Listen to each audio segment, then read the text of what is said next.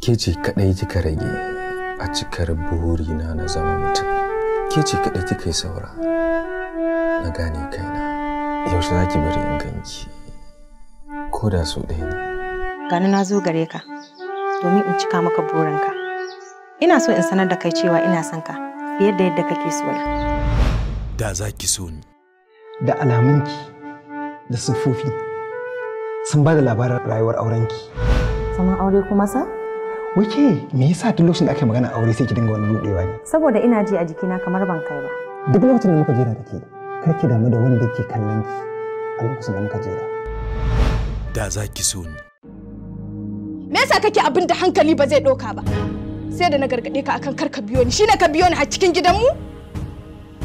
Na ce ina buƙatar kuɗinka ne? I don't need your money. Ai na riga na gama da ke. Ban gane inda ka dosa ba. ƙila dai akwai wani Idan ɗan uwan matata ne ku gargaɗe shi idan kuma saurayinta ne ku gargaɗe shi a yaren da zai iya fahimta.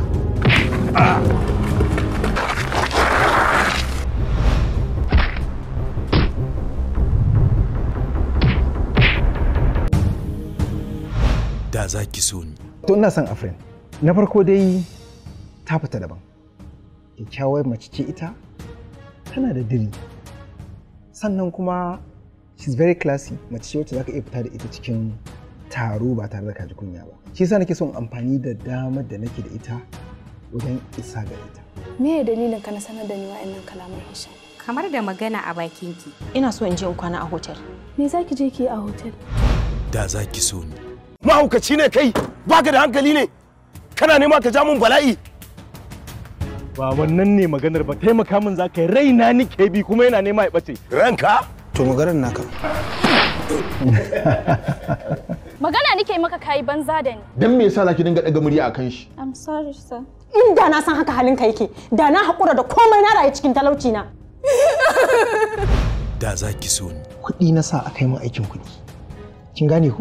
Ki fita ki ba min gidana. Kowane irin laifi na aikata maka ai bai kamata kai min wannan ɗanyen hukuncin ba. Kin isa? Allah ka saka min akan wannan munafikin bawan naka zalimi. Kar ki manta, all is fair in love and war. Get out.